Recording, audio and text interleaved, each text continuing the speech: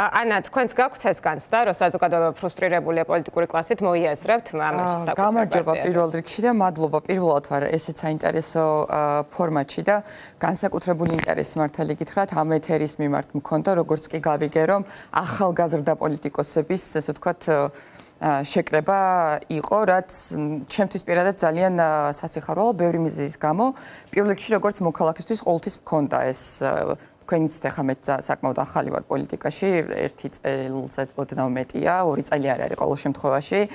გახლავართ თუმცა ბიოგრაფიის დაგროვება მოახერხეთ თქვენ. კი, ბიოგრაფიის დაგროვება კი ბატონო, მოახერხე რაღაცნაირად, მაგრამ ეს საკითხი თვითონ არის ძალიან მნიშვნელოვანი და კვლევებიც ჩემთვის იყო ძალიან მნიშვნელოვანი. ხა ბევრი შეიძლება ვიდაოთ კითხვის ფორმულირებებზე და ასე შემდეგ. ხა ჩემთვის აირაიც და ენდიაიც საკმაოდ ავტორი, ჩემთვის არა ზოგადად ავტორიტეტული ორგანიზაციებია და პრინციპში განსაკუთრებით საზოგადოების განწყობების განწყობები რა აჩვენა ამ კვლევამ ეს არ იყო ჩემთვის რამე სიურპრიზი გულწრფელი რო ვიყო.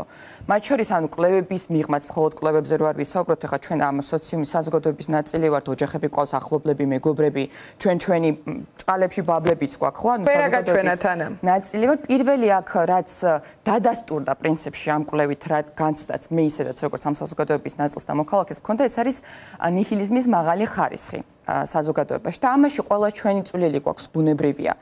ზოგადა ნიჰილიზმის დანერგვა ყოველთვის ხელს აძლევს ხელისუფლებას, იმიტომ რომ ამ შემთხვევაში მართვა და манипуლირება არის მარტივი, მაგრამ აქ სამწუხარო არის ის, რომ ჩვენც ანუ ოპოზიციური სპექტრის პარტიებაც ვერ მოვახერხეთ სხვადასხვა მიზეზების გამო. ხო ყველა პოლიტიკურ პარტიას თავისი ისტორია აქვს, თითოეულ ჩვენ განს მithradas ახალგაზრდა არ გაწყვეტინებ დროს მოგცემთ, უბრალოდ ამ ეცერში ისიც გვინდა რომ გულწრფელობით ცოტა მაღალი ხარისხიც ვაჩვენოთ, თუნდაც რომ აი უფროს თაობას მეტი მაგალითი მივცეთ. აი კონკრეტულად რო ვილაპარაკოთ და საქმიანად აი რა არ გამოსდის ოპოზიციას კონკრეტულ მაგალითზე შემიძლია ვთქვა, რომ უფრო მარტივად გამოხოთ. აი მაგალითად უკრაინის ომთან დაკავშირებით პირველი დღიდან პრინციპში ქართული ოცნების ანუ ხელისუფლების ასე ვთქვათ შეგნებული მიზანმიმართული პროპაგანდა, მისი არჩევანი იყო, რომ საზოგადოებაში დაემკვიდრებინა, რომ ესე იგი ვისაც არ მოგწონს ქართული ოცნების პოლიტიკა და გადაწყვეტილებები და რიტორიკა და მესიჯ ბოქსი და ასე შემდეგ ქმედებები, ესე იგი ყველანი ვიყავით ომის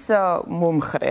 თავიდან ამას ყველა ღიმილით შევხვდით, რომ Facebook-ზეც მათ შორის სოციალურ ქსელებში ეს რიტორი ეს შემდეგ აღმოჩნდა რომ საკმაოდ მუშა მესეჯი შეიძლება იყოს ეს პროპაგანდა. და რანაირად უნდა მინდოდეს მართლა მაინტერესებს საკუთარ ომში საკუთარ ქვეყანაში ომი მინდოდეს ნიშნავს რომ ჩემი ოჯახის მტერი ვარ იმიტომ რომ რას ნიშნავს ეს ომი მინდა როგორ შეიძლება ეს დაუშვა საკუთარ ქვეყანაში? ხო არ არის ხოლმე მათ შორის ოპოზიცია? ხშირად, ხშირად. და აი ამას დავასრულებ თუ შეიძლება თქვენ ცნებართვით და სამწუხაროდ ოპოზიციურმა სპექტრმა მათ შორის მე ჩემ პასუხისგებლობასაც გრძნობ ხო მათ შორის. ვერ მოვახერხეთ რომ ადამიანებისთვის აგვეხსნა რომ აი ეს რაღაცა უმახინჯეში უმახინჯესი პროპაგანდა, როდესაც თავისუფლება მშვიდობას დაუპირისპირა, ასე ვთქვათ, სახელმწიფო პროპაგანდამ, ეს არის უბრალოდ აბსურდზე აბსურდი, იმიტომ რომ მშვიდობა თავისუფლების გარეშე ღირებულება ხო არ არის როგორც ასეთი. მშვიდობა ჩვენ გვინდა ყოველას ჩვენ ომი, იმიტომ არ გვინდა რომ ჩვენი საყვარელები ადამიანები ვიყოთ კარგად. ბარ აქ ოპოზიციას? ვერ ვერ გეტყვით, არა თანმიმდევრულობას დავარქ. ყველაზე მთავარ პრობლემას მე დავასახელებდი არა თანმიმდევრულობას. როდესაც ჯერ ერთს ამბობ, მე მეორეს, მე სამწუხაროდ ოპოზიციას ხშირ შემთხვევაში რას სჭირს?